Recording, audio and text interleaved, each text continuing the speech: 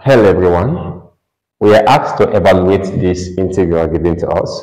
So the first thing we do here is divide each of the term by x squared.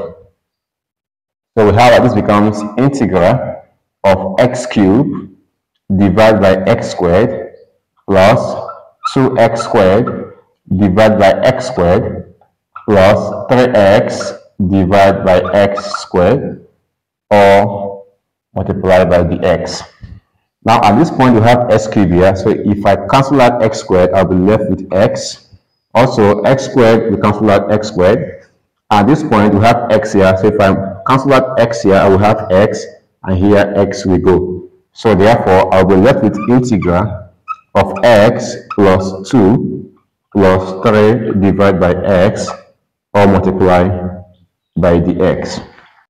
So at this point, we are going to apply the linearity property of integration. So we have that this becomes integral of x dx plus, since 2 is a constant, it becomes 2 integral of dx plus 3 integral of 1 divided by x dx.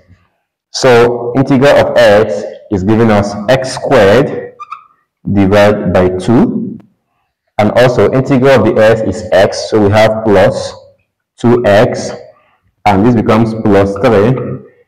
Integral of 1 divided by x is ln x, so we have 3 multiplied by ln x plus c.